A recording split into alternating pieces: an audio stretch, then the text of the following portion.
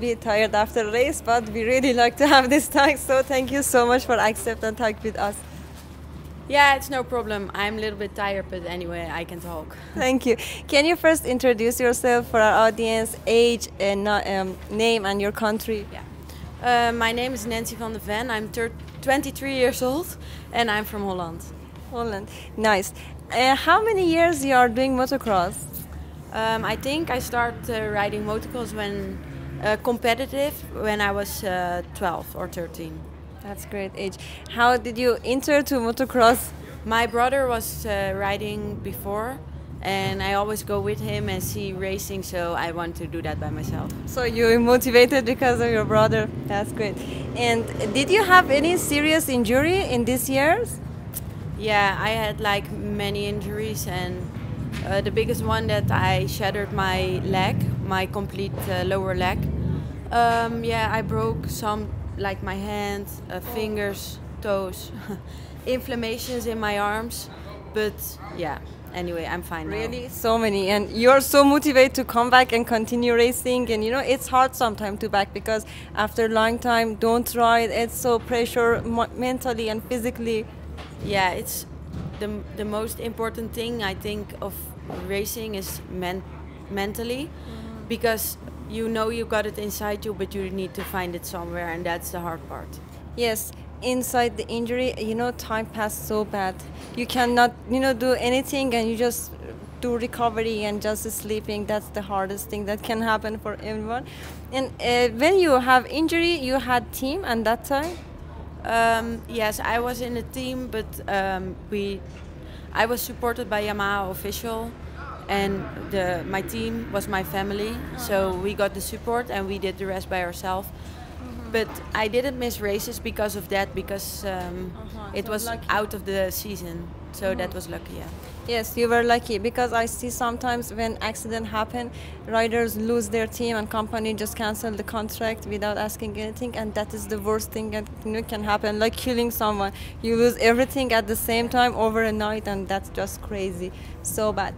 And what was the best title for you till now in races? Um, I think the best one was that I win GPs, like races like today that I was on the top step of the podium, and yeah, I finished four times second in the world championship. So oh, that's that's so much honor for you know someone to do that. That's really a good title to achieve. How many hours or how many days in week you training to be able to achieve to this title? Um, actually, you are busy with this for every day. Everything what you decide to do depends on racing. If you want to go out with friends, no, Affect because everything. I need to train um, want to go for dinner? No, because I need to yes. race tomorrow and or something like that. you get so tired when you have time. It's like dead tired and cannot go anywhere. Yeah, and you true. know these are backstage when someone see it's like just having fun, just enjoy, right? But you know the injuries, you know the hard time. These are so many, so many things that you know you cannot tell to everyone. These are the difficulties, but it's still it's so fun. It motivates us to you know come back and do this again and that is you know the best thing you know best feeling for every rider. Yeah. and uh, one other question that i want to ask uh, are you doing uh, some sport as a complement for example gym running cycling? What do you do instead of your uh, riding? I do a lot of cycling because i have uh, i injured my knee -huh. and my lower leg like i just told you that running is not comfortable for me if i run longer than 15 minutes or cycling so. So yeah, I do a lot of cycling. I go to the gym. Mm-hmm. I do exercises at home. Yes. And I swim. I actually do everything with so it. So really, you do everything. Yeah. Do you think which one is more important, you know, as a sport complementary for uh, motocross? You know, if I want to ride motocross, what do you uh, suggest me to do in, um, as you know, at the same time? Yeah, first you need to be good on the bike and when you are good on the bike and you feel that you can go into racing, like events, mm-hmm. then you need to have also the good fitness to yes. keep on going for the the entire time. So when you are on the level that you are good enough to race, then you need to start training and yes, stay fit so you can go for the 25 yes. minutes. Yes. do you think a, a skill and technique is more important in motocross or dare? You know, there uh, to be able to gauze and you know mm, have there to push is more important or technique? I think it's both very important, but I think the most important part is that you stay strong mentally. Yes, yes, because when you are not ready for mentally, it's the worst thing. You know, you will be ready for any accident when you are not thinking about your right. Usually, bad thing always happen when you are not ready mentally. Yeah, that's true. And one other thing uh, about contract in sport because uh, girls always pay uh, earn mo less money in with boys, and we are living in 21st century. It's not kind of fair do you want to tell something about this? We want everyone know, you know, everything should be equal. We are living in 21st century. It's it's not fair. Yeah, of course, it's like we are very underpaid. Like what you see, what men get, and if you see what we get. But I, to be honest, I need to be happy that I'm a team, that I ride for yes. free, and that because I. No one can even get the no. Team. It's so hard. It's very hard for others to get already a team. Mm -hmm um, the team pay a lot for me and they give me some bonus money, but besides of that, I need to work. I have my own company, and when you look at the boys here, they are full factory. Yes. They get all the because money. Because of that, they can progress better. Yeah. You know, it's it's so different between you just do biking and you thinking about so many work and do biking alongside with all yeah. of that. It's it's too much different between this and you know this will make them to progress more. And they then they will say because they have more progress they will be get paid more. But okay this is just because the situation that you made if it was equal so girls would have progress.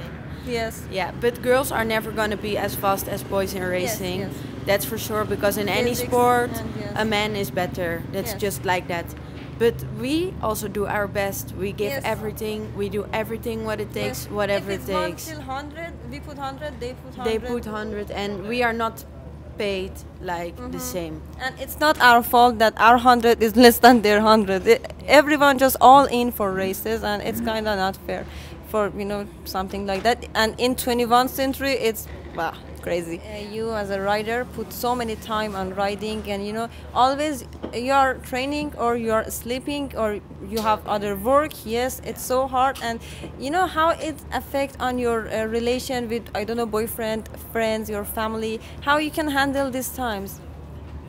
That is one really good question because we are busy so much with work, riding, yes. and stay fit that actually I in when the season is starting like now I don't see my friends I need to make a free day to mm-hmm. see my family like um, my brother he have two children and I like oh. to hang out with them but when but I want to no I have no time to see them so I need to make a free Sunday because they need to go to school and then I can't train I can't do anything to spend time with them because I'm sleep, eat, train, yes. work, and repeat. Yes, yes, and that is so hard to have this plan for a long time. You know, it's so pressure for hard time. That is so hard. Yes, that is so hard to have uh, this situation and and can be manage this situation to have family, friend, work, ride all together. That is so hard. And you know, you see this as a good point or bad point. Do you like to, you know, if it was your choose? Uh, do you want to change this or not? If I would have the opportunity, of course, I don't work. Then I stay only on racing, and mm-hmm. besides of that, I can have more time to more relax time family, yes. and to do things with my family, with yes. my boyfriend, and just do some other things around. But mm-hmm. that's just not possible, and that's yes. really shit. Yeah. And when I talk with some of riders, they say uh, you are working, and some of them are going to university as you know at the same time with riding and you know i talk with someone who say i am working in two part-time jobs for be able to afford my bikes and you know fees. And that is crazy to be motivated and do all this work every day got two job riding gym. So many i have injury pay for this. That is crazy. And you know it's kind of mm, if we don't change this situation it's so hard for one normal person to enter this sport and continue. And if there is no new people if there is no one to want to continue so it's some kind of stop and no money inside not a good sponsoring not a good races. It will kind of make problem for all this you know circle.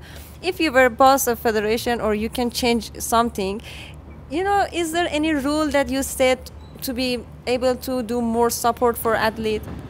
Yes if i would be the boss of Youthstream like like mm, this there. here i would give my riders money for bonus for riding because we ride here.